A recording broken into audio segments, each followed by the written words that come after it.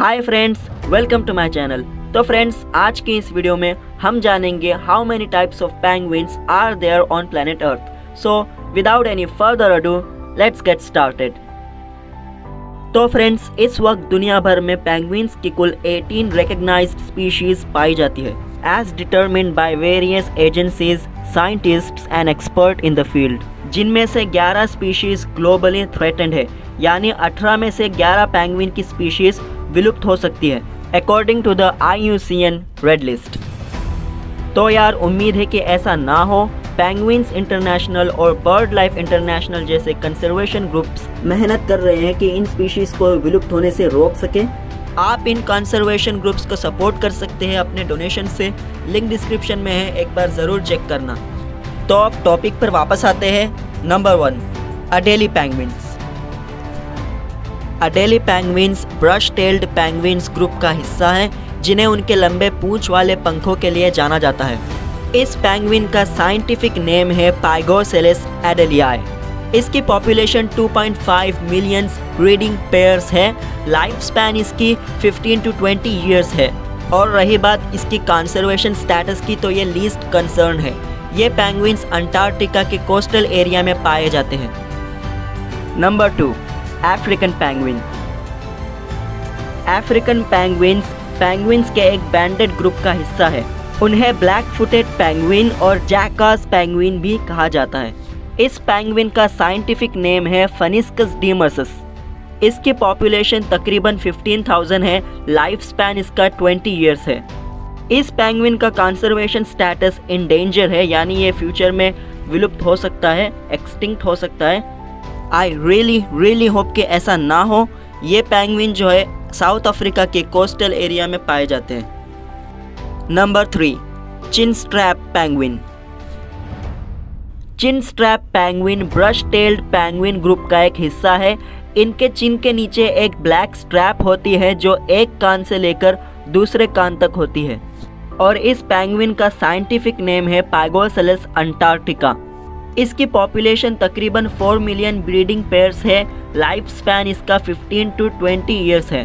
और रही बात इसके कंसर्वेशन स्टेटस की तो ये लीस्ट कंसर्न है। ये पेंगुइन अंटार्कटिका चिले अर्जेंटीना और कुछ आइलैंड के कोस्टल एरिया में पाए जाते हैं। नंबर फोर एम्पर पेंगुइन भी अंटार्कटिका के कोस्टल एरिया में पाए जाते हैं। Number five erect crested penguin erect crested penguin crested penguin group का एक हिस्सा है। 1970 से इस पैंगविन की पॉपुलेशन में काफ़ी गिरावट आई है। और इस पैंगविन का साइंटिफिक नेम है यूडप्टीज स्क्लैट्री इस पैंगविन की पॉपुलेशन तकरीबन 68,000 ब्रीडिंग पेयर्स है। लाइफ स्पैन इसका 12 इयर्स है और रही बात इसके कंजर्वेशन स्टेटस की तो ये इंडेंजर्ड है। ये ब्यूटीफुल बर्ड भी विलुप्त हो सकता है अनफॉर्चुनेटली और रही बात इसकी लोकेशन की तो ये न्यूजीलैंड के करीब आइलैंड्स में पाए जाते हैं। नंबर सिक्स फ्योर्डलैंड पैंगविन ये पैंगविन क्रेस्टेड पैंगविन ग्रुप का एक हिस्सा है। न्यूजीलैंड में इन पक्षियों को आमतौर पर उनके माओरी नाम तवाकी से जाना जाता है। और इस पैंगविन का साइंटिफिक नेम है यूडप्टीज पैक्यूरेंकस पॉपुलेशन की बात की जाए तो इनकी तकरीबन 1500 से 5000 ब्रीडिंग पेयर्स की है। अनफॉर्चुनेटली इनकी पॉपुलेशन कम होती जा रही है और रही बात इसके कंजर्वेशन स्टेटस की तो ये नियर इंडेंजर्ड है। ये पेंगुइन्स न्यूजीलैंड के साउथ आइलैंड के कोस्टल एरिया में पाए जाते हैं। नंबर सेवन गलापगोस पेंगुइन ये पेंगुइन दूसरे सभी पेंगुइन प्रजातियों में से सबसे कम शोर करने वाले जानवर हैं। और ये बैंडेड ग्रुप पेंगुइन का एक हिस्सा है।